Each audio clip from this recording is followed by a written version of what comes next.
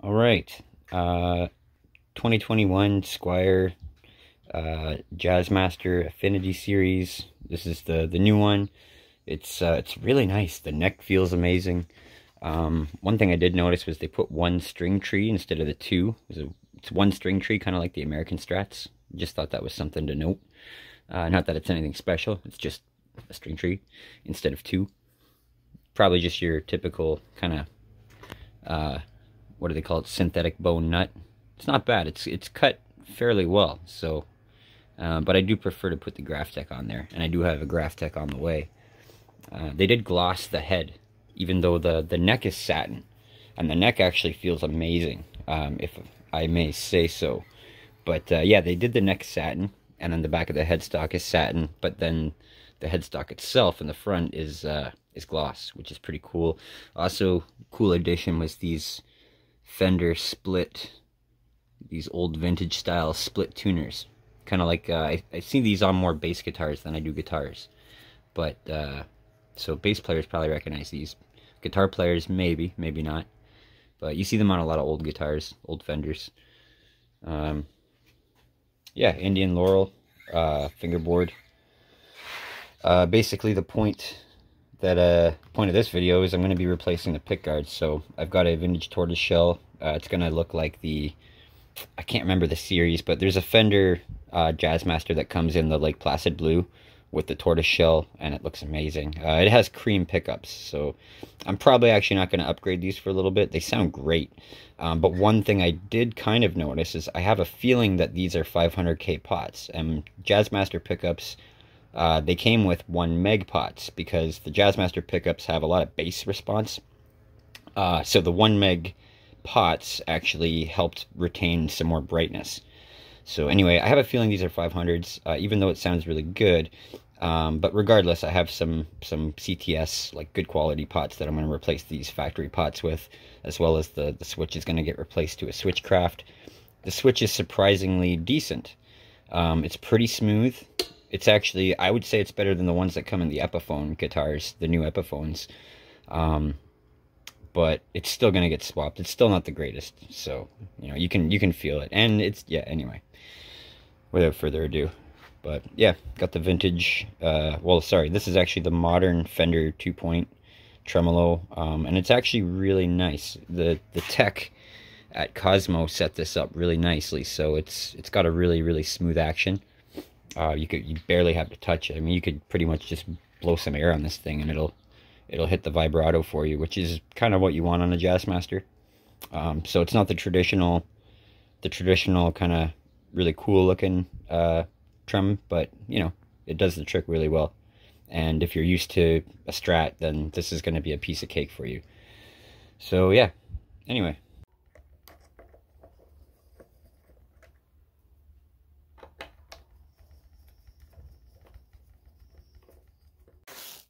So I'm just covering uh, the good side of the pickguard with masking tape and this will allow me to actually be able to draw the template directly onto it. Uh, it just makes things way easier.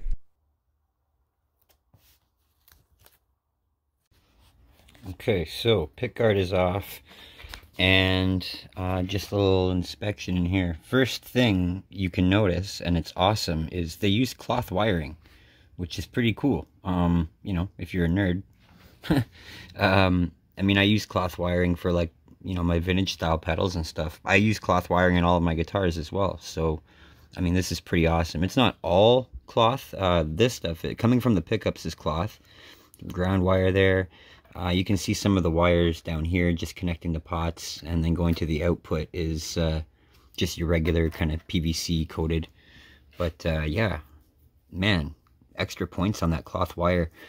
Uh, the input jack is surprisingly heavy duty, although it's not as good as the one that will be going in there. Um, but that's pretty good. I mean, that's a lot better than the the normal jacks that you get in these um, cheaper offshore guitars. And I should add too, this isn't the cheap, this isn't the Bullet, it's the Affinity. So it's it's like the second step up from the Bullet. Um, about $400 range after tax kind of thing, right? uh, so another thing I was looking to see about these pots. 250k. Uh, so that is pretty far off of the 1 megs that are going to be going in. So, I, I mean, and this thing sounded great through the amp. So, um, I'm kind of surprised there's 250k in there. Uh, I knew that they were kind of dark. Like, like I, I had a feeling that they had 500ks maybe, but 250k is pretty surprising. I guess they just, you know, that's what they have at the factory or something. Because one meg would have been a bit of a stretch. Like there, anyway, um, without going too much into that.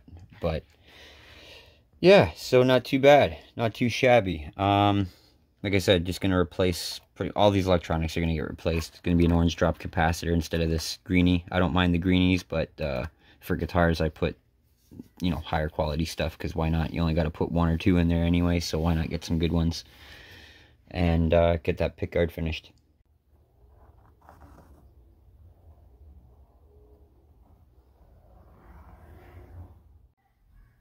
good old pick guard. So, um, yeah, did the back plate as well, of course. So they match. Uh, and as you can see, the mounting holes and everything, everything's marked. So there's no need for the templates or the originals anymore. Uh, just chuck them aside and get everything cut out and mounted.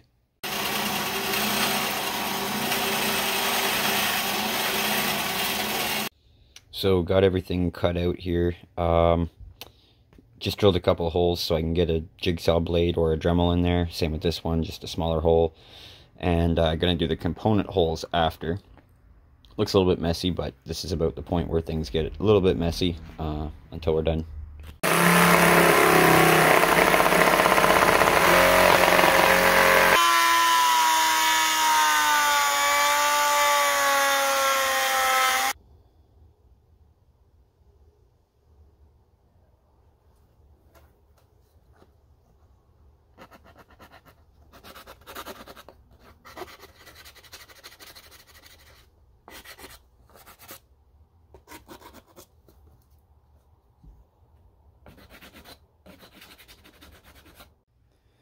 So there we go.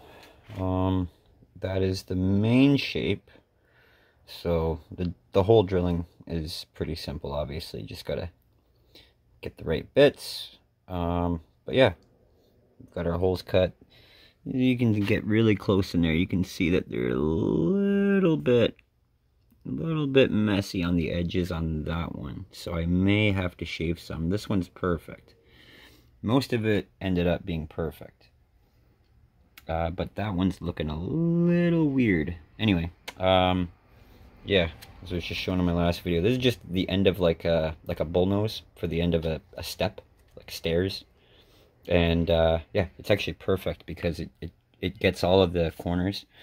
So I, I pretty much just sand all of the, the edges by hand so I don't put too much, uh, a little too much you know aggressiveness into the, the sanding because the, the Dremel can take a little too much sometimes if you're not extra careful. So quick disclaimer, uh, this is the part of the process that can really screw everything up if you're not really careful. Um, basically, I'm using a one inch chisel here. And uh, again, you know, without a router, this is just my personal process. Uh, I'm using a one inch chisel and one part of the chisel is resting against the table as a guide. And I'm holding it at a 45 degree angle and then cutting that bevel into the edge of the pickguard. Uh, it's not going to be perfect, and that's why you're going to just basically get this started and then come here with the Dremel. The Dremel is going to finish the job up, make it all nice and uniformed, uh, and kind of flatten out that bevel. So, you know, it's a really nice, again, uniformed looking, uh, like it was done by a router basically when it's all done.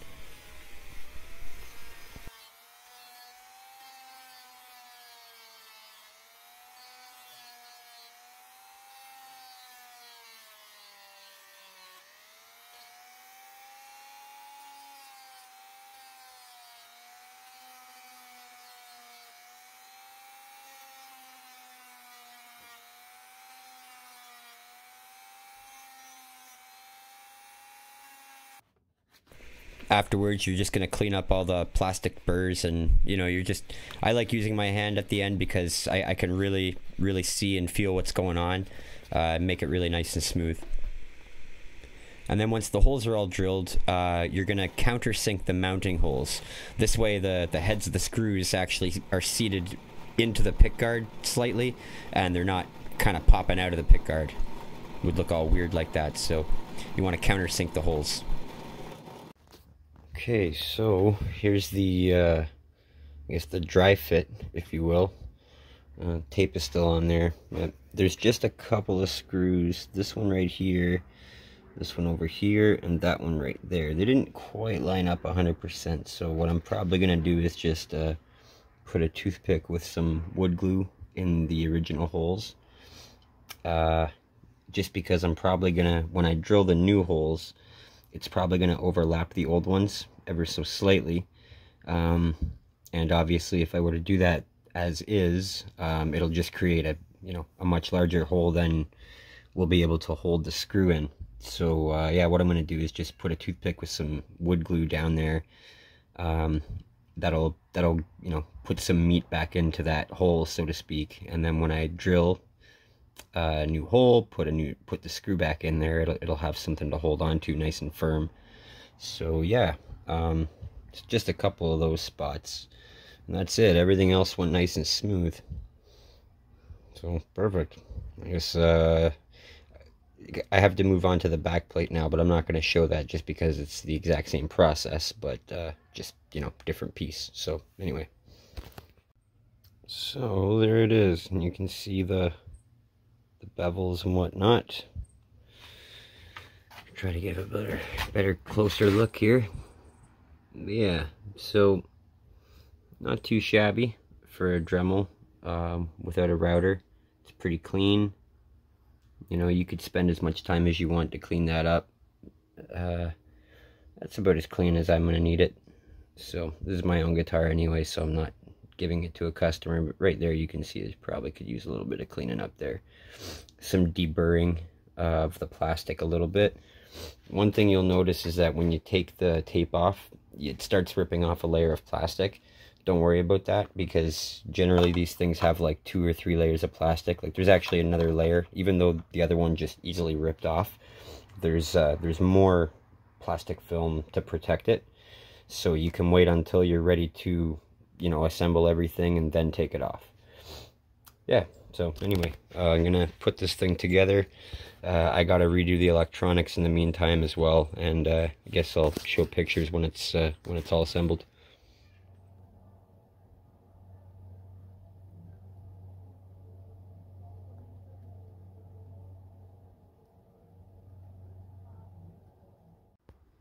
And here is the completed Jazzmaster pickguard. So came out pretty good.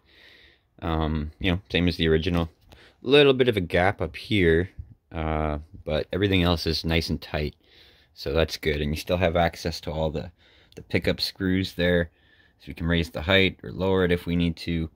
Um, these pickups are actually going to be cream or off-white um, pretty soon. I'm, I'm going to be putting a new set of the, the Fender Vintage uh, Jazzmaster pickups in there. They only come in white, well, off-white, uh, which will look a lot better on this thing anyway. Uh, got the one meg pots there. Uh, they only come in the solid shaft, so you have to get the knobs with the with the set screw. Uh, Switchcraft jack, Switchcraft switch, and uh, yeah, gonna get the back plate on, get some strings on, and it's good to go.